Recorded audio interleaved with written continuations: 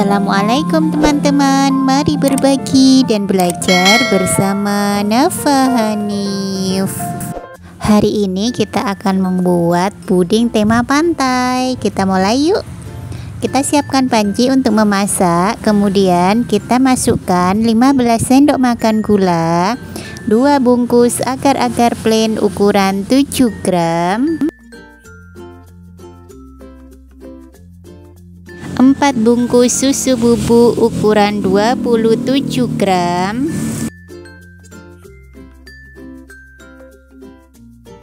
Sejumput garam. 2 sendok makan maizena Kita aduk-aduk sebentar agar tidak ada adonan yang menggerindil. Kemudian tambahkan 1300 ml air. Kenapa ini berbeda dari biasanya? Biasanya saya gunakan air 1200 Sekarang 1300 Karena sesuai dengan ukuran loyangnya Dan akan saya gunakan lebih hanya untuk siraman di mika bawah. Selanjutnya bila sudah kita masak pudingnya dengan api sedang cenderung kecil dan selama memasak kita aduk-aduk. Bila sudah mendidih aduk-aduk sebentar untuk menghilangkan uap panasnya dan mengurangi busa-busa. Selanjutnya siapkan loyang ukuran 16 kali 7 cm basahi dahulu ya teman-teman. Kemudian isi setengah loyang saja dan kita beri warna biru ini adalah sesuai dengan pesanan customer yang request. Pudingnya berwarna biru dan pink jadi setengah biru setengah pink karena menyesuaikan dengan warna karakter kartunnya seperti itu. Kita beri warna biru hingga menemukan warna yang cantik. Setelah itu kita biarkan setengah padat. Setelah setengah padat setengah padat saja ya teman-teman kita cek dengan jari. Sudah tidak menempel di jari. Selanjutnya sisanya kita panaskan kembali dan kita beri warna pink. Di sini pinknya saya menggunakan cross yang rose pink. Nah sampai menemukan warna yang cantik. Dan kita aduk-aduk sebentar dan kita masak hingga panas cukup panas saja tidak usah sampai mendidih lama gitu nggak perlu. Cukup sampai panas biasa aja. Nah kita aduk-aduk dan kita panaskan sebentar. Tidak harus sampai mendidih seperti awal kita masak tadi ya teman-teman. Jadi cukup sampai tidak ada adonan yang kental. Jadi semuanya biar mencair dahulu gitu aja fungsinya ya setelah kita rasa cukup panas dan sudah mencair sempurna adonannya kita saring kita tuang pelan-pelan dan mengelilingi loyangnya. Jangan di satu arah saja ya teman-teman karena nanti kalau kita tuang di satu arah saja ini akan membuat adonan yang bawah nanti jebol dan nanti merembes ke bawah ya. Jadi kita nuangnya pelan-pelan seperti ini.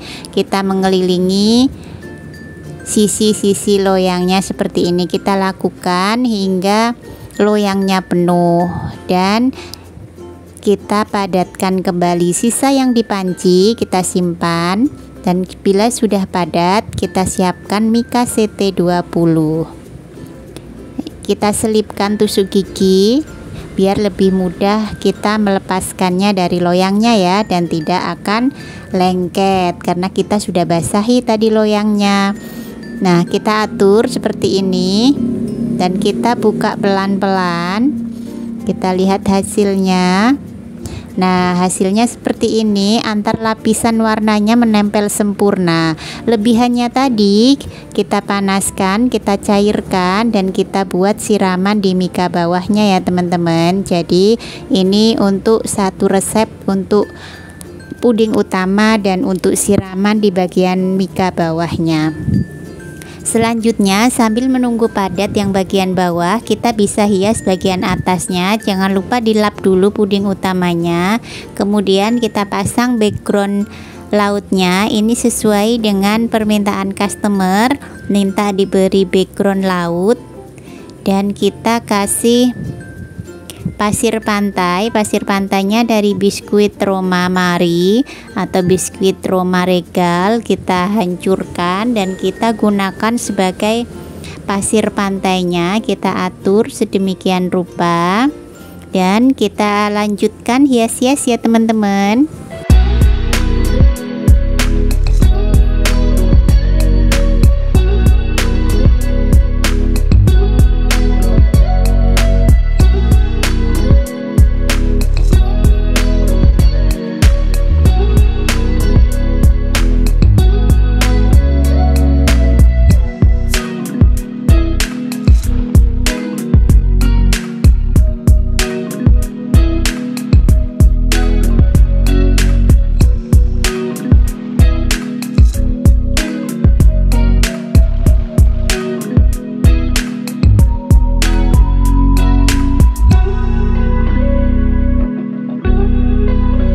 Bila kita rasa sudah cukup pasir biskuitnya ini, selanjutnya kita pasang untuk hiasan bebatuan dan kita kasih topper pohon kelapa. Nah, seperti ini di kanan kiri dan kita hias-hias dengan hiasan yang lainnya seperti desain yang telah kita buat sebelumnya. Teman-teman kalau mau buat puding tar biasa buat desain dulu atau langsung ya teman-teman. Boleh ditulis dong di kolom komentar.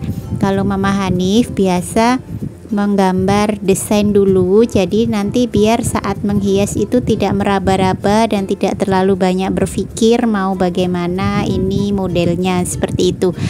Karena sudah terarah di gambar itu ya dan terkadang walaupun sudah saya desain di gambar seperti itu saat praktek di pudingnya pun kadang saya masih suka berpikir oh ternyata di sini kurang pantas saya pindahkan ke sini seperti itu. Nah bagi pengalaman dan sharing dong teman-teman di kolom komentar ya. Sambil kita lanjut hias-hias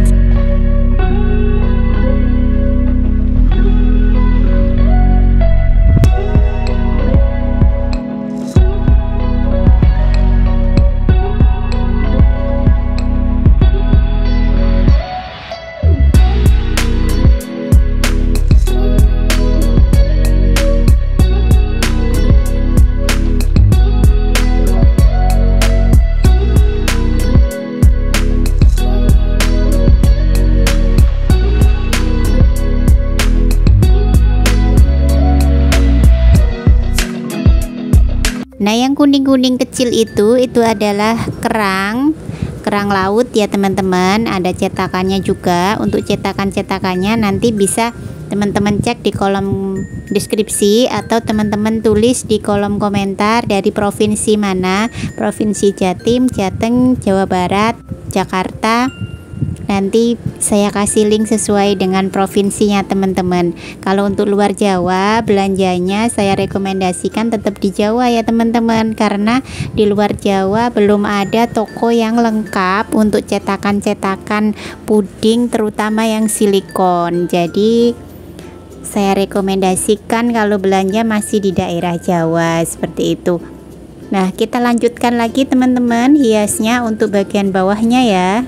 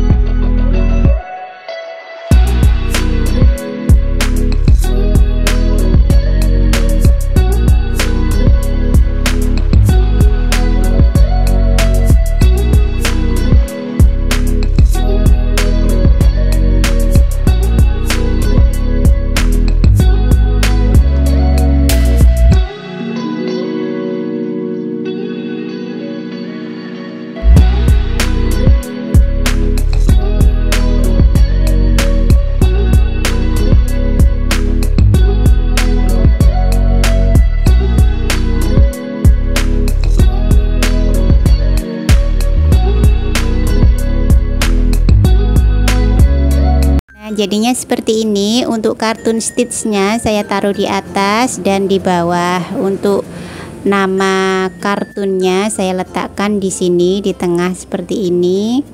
Dan dikelilingi oleh rumput-rumput. Nah seperti ini ya teman-teman. Selanjutnya nanti di pasir-pasirnya akan saya kasih kerang-kerang kecil lagi untuk hiasannya. Seperti itu